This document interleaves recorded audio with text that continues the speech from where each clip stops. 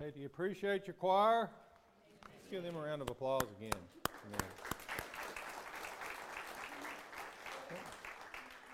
Well, as you might guess, I'd like to invite you to open your Bibles to the second chapter of the Gospel of Luke. Luke chapter 2, and we're going to read verses 1 through 7 of the second chapter of the Gospel of Luke. Luke 2, 1 through 7. And would you stand in honor of God's Word?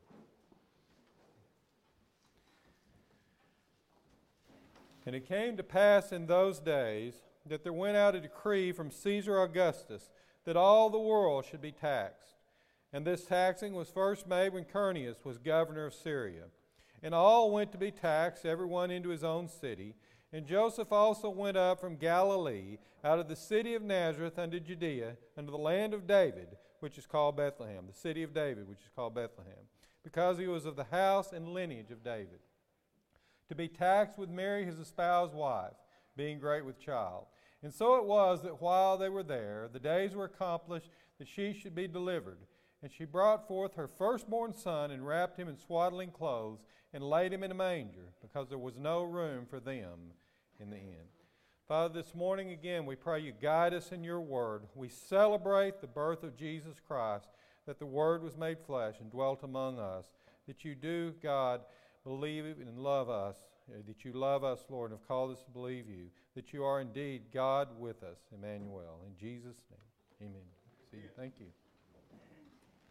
The passage that we just read is, of course, the traditional, the familiar story of how Jesus Christ came into the world. I want to talk to you this morning about the truth that in Bethlehem's manger lay the answer, and on Calvary's cross came the solution. Into a world of sin comes the sinless Son of God. As the angels sang, no doubt all hell reeled because the truth is that the gospel says that God became one of us. Emmanuel, the Word became flesh and dwelt among us. Romans 6:23 says, "For the wages of sin is death, but the gift of God is eternal life through Jesus Christ our Lord." Now, I don't know what kind of packaging your Christmas gifts have come in. Pretty bags, wonderful paper, or sometimes there has to be some other creative way to do it. But God's greatest gift to us came in the package of a baby laid in a manger in Bethlehem. The Bible says that God's grace came to us in the reality of the incarnation of Jesus Christ. We were sinners, but Jesus made our problem his problem. In Bethlehem's manger lay the answer. On Calvary's cross came the solution. Into a world of impurity comes the virgin born Son of God. Now, for 2,000 years, the devil has been trying to deny that breathtaking miracle. He's questioned Mary and Joseph's virtue, claimed some Roman soldier assaulted Mary, made all kind of crazy accusations. He's tried to claim that Jesus Christ only appeared to be human. I bet you couldn't have told Mary that. Amen. John had to dispel that lie more than once. In John 1:14, the verse that we often quote around Christmas, the Word was made flesh and dwelt among us. In 1 John 1 1, he says, Our hands have handled of the word of life. Again, the virgin born Son of God.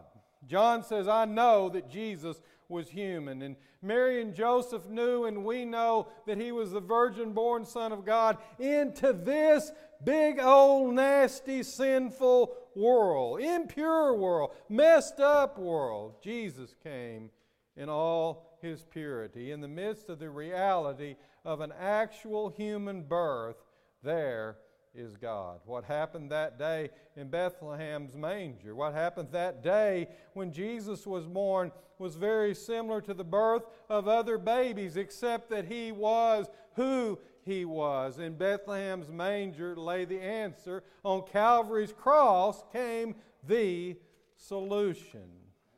Into a world of division comes the reconciling Son of God. God promised Abraham in Genesis 22 18, In thy seed shall all the nations of the earth be blessed. It's seed singular, it's Jesus. And Luke 2:10 the angel of the Lord says to the shepherds behold I bring you good tidings of great joy which shall be to all people. I dare say probably everyone in the sound of my voice this morning is a Gentile, Gentile origin. If you're not, praise God. But the truth is, the Bible comes and tells us that Jesus came for all of us. In Jesus' day, the Jews and Gentiles generally didn't much like each other. I think in the first century, there might have been some of them saying, Jewish lives matter, and some others saying, well, all lives matter, but they'd have both been right, wouldn't they? But to God, all souls matter. Amen. That's the message of Christmas, the coming of Jesus into the world. How could man be reconciled not only with God, but also with man? Well, in Bethlehem's manger lay the answer. On Calvary's cross came the solution. I don't think any government or any politician will ever fix that.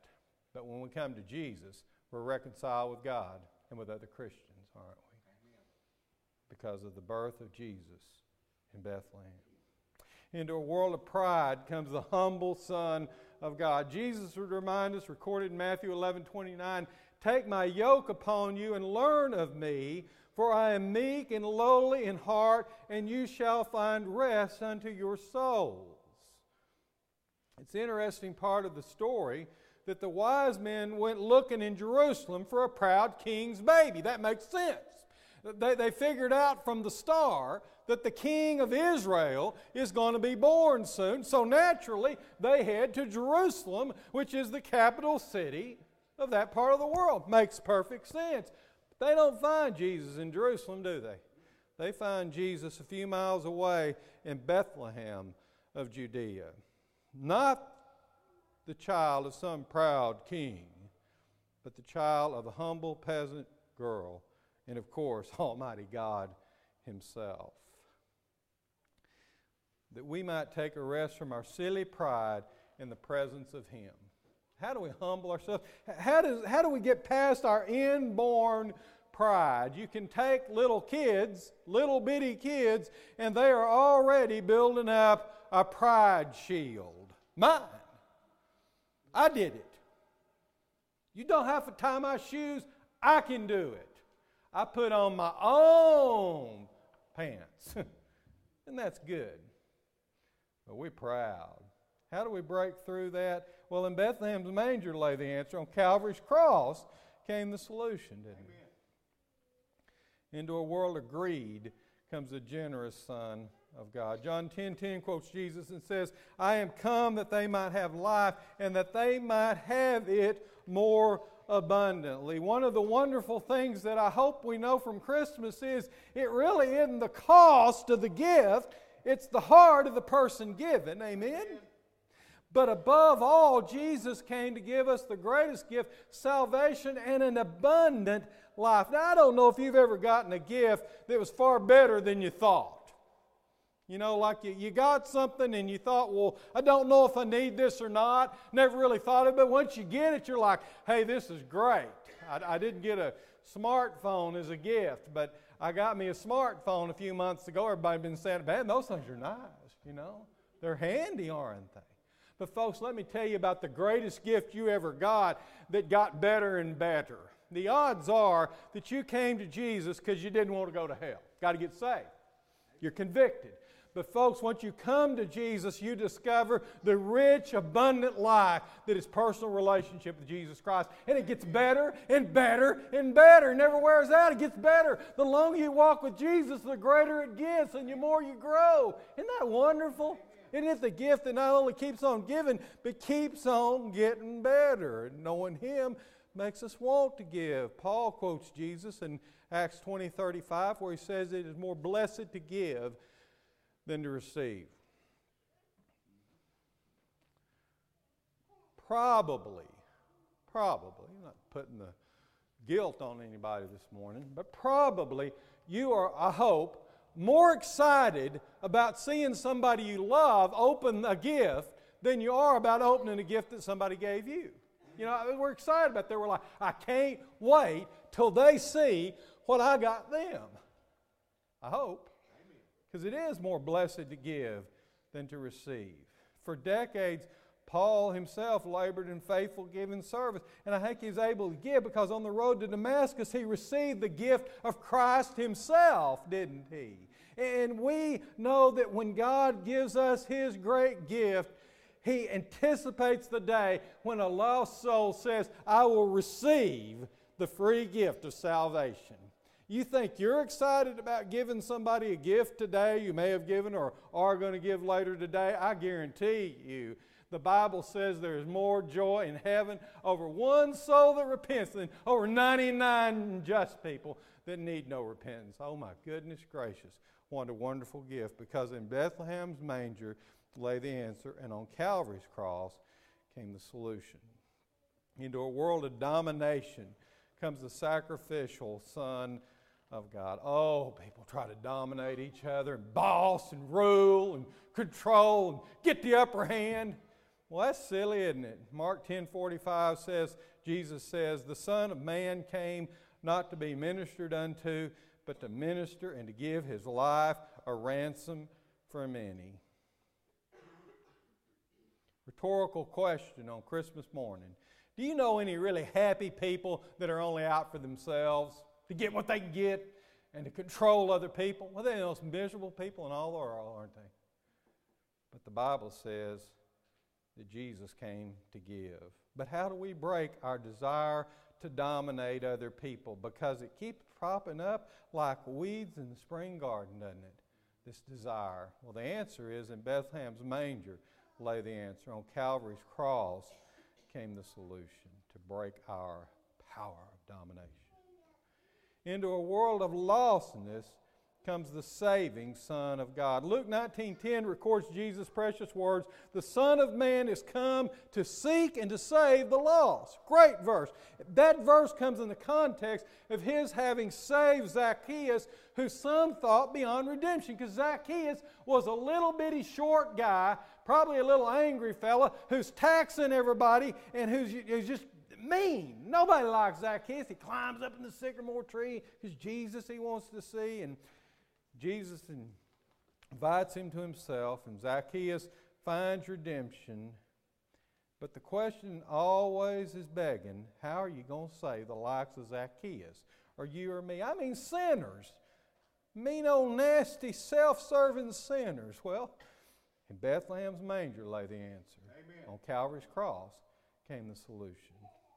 Into a world of death, bottom line, comes the living Son of God as many of us have done, Jesus was traveling to the tomb of a close friend, Lazarus. And as he travels there, the man, Lazarus' sister, met him on the road. And to her broken yet believing heart, if you read it in context, she understands that there's resurrection. He said these breathtaking words in John 11, 25 and 26. I am the resurrection and the life. He that believeth in me, though he were dead, yet shall he live and whosoever liveth and believeth in me shall never die. Death comes even around the holidays. Heard of someone this morning who passed away this very morning. That's sad, isn't it? But Jesus came.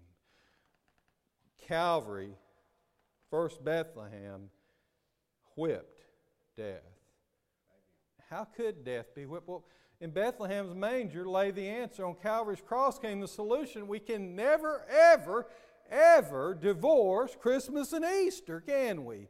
That, that the baby that came went.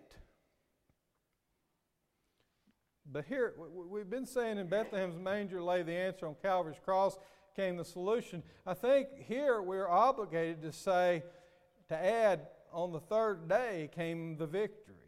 Amen. Amen because that is indeed what it's all about the inseparable truth that you can't separate the stable from the tomb. In, in, one, Jesus came forth from Mary, and the other, he came forth from death. And it is on Christmas that we celebrate the birth of Jesus, who had come, God with us, to fix us. In Bethlehem's manger lay the answer. On Calvary's cross came the solution. Now, I want to wish everybody a Merry Christmas, maybe sort of a short message this morning, but I want to say to you a Merry Christmas and remember this in your heart during this season. When you think about the wonderful celebration, the reason that we have hope is that Jesus came. And the reason that the world is singing along is that He changed the world. And the hope that we have, the opportunity we have this season and all through the year, is to share with others the good news that God really was in Christ reconciling the world to Himself. That if any man is in Christ Jesus, he's a new creature. Old things have passed away, and all things have become new. And there's even a possibility that someone may be here this morning in your family. You came with your family. You, it's Christmas. You ought to come to church. It's something you do.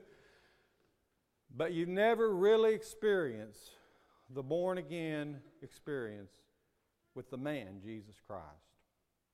You, you think the story of Christmas and the baby's nice, but you don't have a personal relationship with him. Man, you can. And that's the whole purpose of it all. Jesus wouldn't have come to Bethlehem's manger if he didn't need to go to Calvary's cross. Father, we thank you for your word. As we come now into a time of invitation, I pray that you'll work in hearts and lives for your glory. We praise you for this Christmas season. In Jesus' name.